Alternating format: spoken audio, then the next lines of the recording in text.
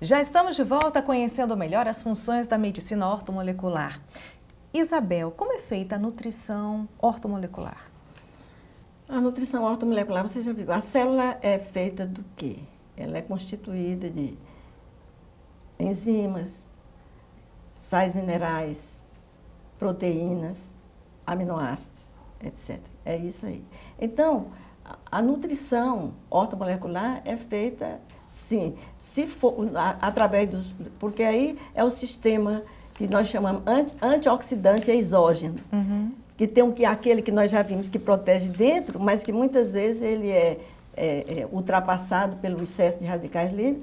E esse externo, que são exatamente uma boa alimentação, alimentação na, na medida do possível mais saudável, e suplementos alimentares, feito é, proteínas, etc. Porque muitas, hoje, como você, eu já falei, nem sempre nós não, não tiramos do alimento toda aquela que antigamente a gente tinha. Uhum. Não é? Então, não tira, o alimento não é mais aquele alimento saudável. Quanto ao tratamento, o resultado, melhor dizendo, ele é demorado? Em alguns casos podem até surtir um resultado mais rápido? Depende de cada organismo, né? Mas é, o, o, se você todo dia se oxida, uhum. o, o, a terapia ortomolecular, ela é um acompanhamento. Eu tenho clientes que vão, ah, estão comigo desde 2000. A minha cliente mais idosa, desde que eu comecei, 1996. Ela está comigo sempre. Ela hoje tem 96 anos. Então quer Mas dizer é... que pessoas que já têm o, uh, que são portadoras de alguma doença, a partir do momento que ela procura ter a terapia, né, é ortomolecular, ela vai ter uma melhora de saúde gradativa? Porque ela vai ter uma assistência, uhum. é. ela vai ter uma orientação. Porque também as pessoas compram, não é, não é proibido a venda de, de suplementos alimentares. Então todo mundo toma e muitas vezes toma a mesma coisa repetida e o excesso, tudo excesso também prejudica a saúde. Então, se existe um médico para orientar, é a melhor saída para se tomar vitamina. Uhum. Mas tem gente que se enche de vitamina, sobretudo pessoas assim que vão para academia, tomam muitas coisas que de, de repente causam, às vezes, efeitos colaterais no organismo. Isso que eu ia até perguntar.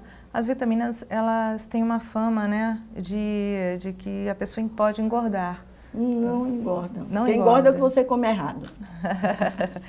certo. Você que engorda. Quais os tipos de exames que são realizados através da medicina ortomolecular para detectar, detectar algum tipo de deficiência? Olha, todos os exames que são usados, é, o hemograma pode ser usado, uhum. todo o exame pode ser usado. Agora, alguns testes, que ainda não é uma coisa que a gente possa chamar de exame, por exemplo, o mineralograma, através do mineralograma, a gente pode saber, mas são esses testes são ainda muito caros. Uhum. E por isso a gente pede muito pouco. É, sai muito mais barato que a gente pode, por exemplo, a dosagem. Se você nota que seu paciente está está com um problema, com uma deficiência de, de, zinco, você pode pedir a dosagem do sangue do zinco.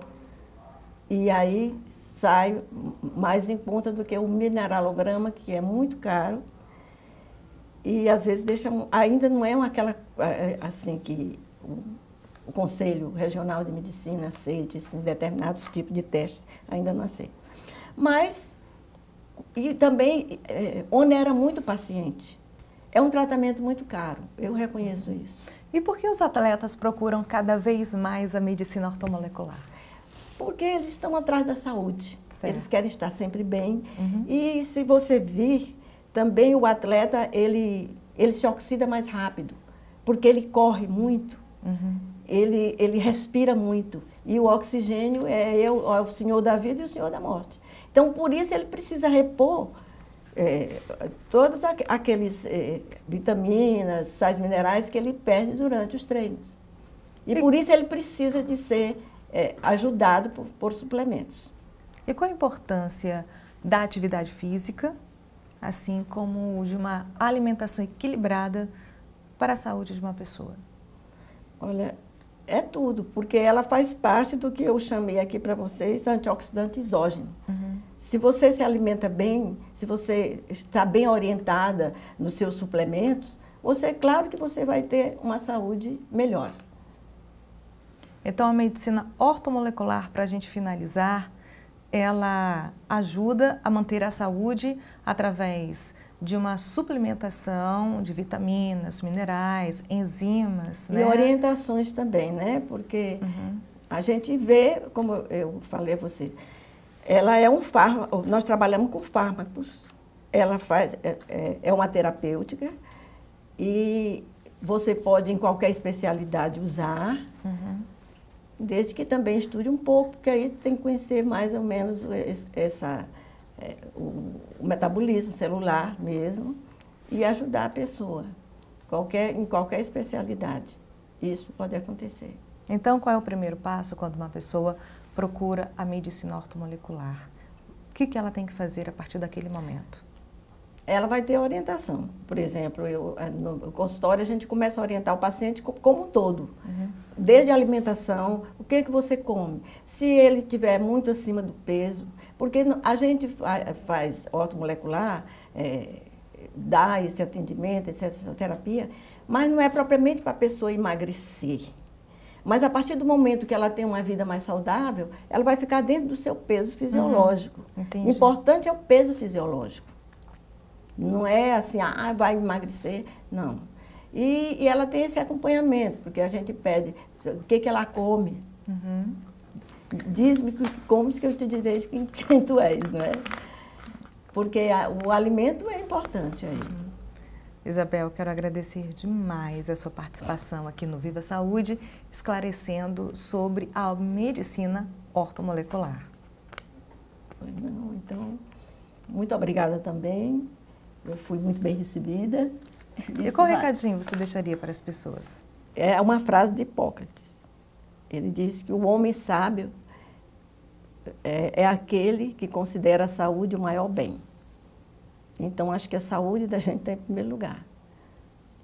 E a gente, às vezes, deixa para o segundo. Em instantes, você vai ficar sabendo como equilibrar a sua saúde e manter a sua qualidade de vida. Continue ligado, a gente volta já.